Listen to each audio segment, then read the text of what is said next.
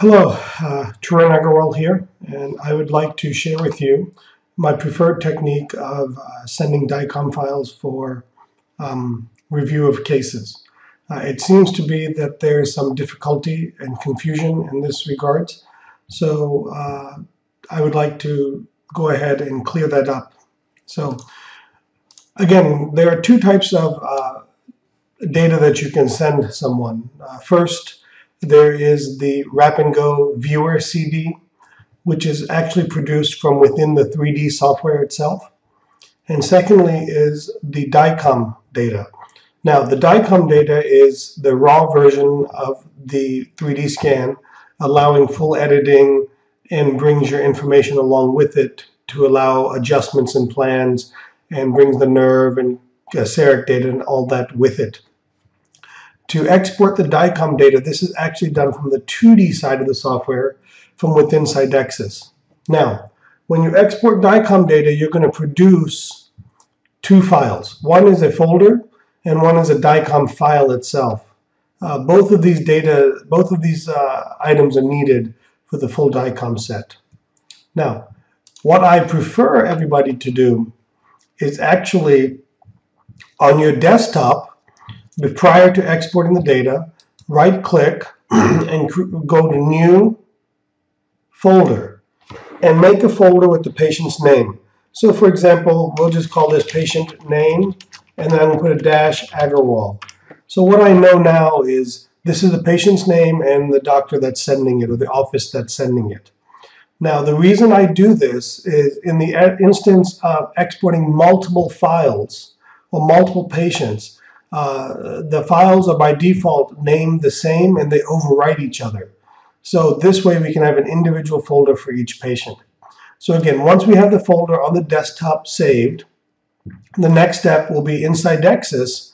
What I would like us to do is open the patient, and here we have this patient opened up. Uh, so we have their data there. And we'll go to Exam, Export to DICOM Media. And this will bring up a DICOM exam export. And um, you can look at the settings here. Again typically this is you don't need to adjust any of this. If you'd like you can anonymize the data. Uh, my preference if you're sending it to me uh, not to do that. That way when I send you the case back I know which patient it's going to be for so there's no confusion. But right here you'll go ahead and browse to the area that we want to save the data to. We'll go to our desktop and here we have our patient name Agarwal folder. We'll double click on the folder and now we'll click Save. And now, uh, now we've told the computer that this is where we'd like the DICOM data to be saved. And then we'll go ahead and click OK. And now we're going to go ahead and go through the export of the DICOM data. Now again, what the software is doing here is it's taking the actual scan data and exporting it in a universal format that can be read by many different 3D softwares, not limited to just Galaxis and the Sirona software. Why do I want DICOM data versus a Wrap and Go CD? Again, the Wrap and Go CD is very nice. It allows me to see everything, but it doesn't allow me to edit it. It doesn't allow me to save the case. It doesn't allow me to export new plans. It doesn't allow me to correct any errors that are on there. For me to be able to do that, to really look through the volume properly, I need to have the DICOM data.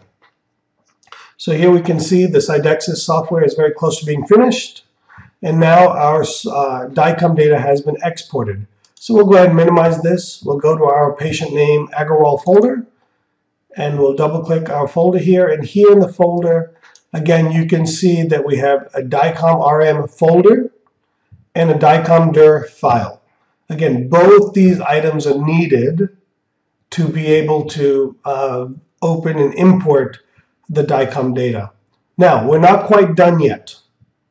Okay, now again these files are going to be pretty large file. So if we take a look at this, let's just see how large this is here. Uh, this is 275 megabytes. So to send this by email is not really going to be possible. So alternatives are to upload via FTP, Dropbox, different Hightail, different uh, systems like that. Uh, but what I have found more and more is that there's so many files in here. So for example, we go to the DICOM RM, you can just see how many folders there are here. All it takes is one file to be missing, and suddenly the data is no good. So what I prefer for us to do at this point is to be able to upload a single zip file. So now the last step in this is we're going to right click, send to compressed zip folder. And now what the software is going to do is it's going to compress this folder, including the DICOM data folder and the DICOM file itself. is going to compress it into a single zip file on the desktop.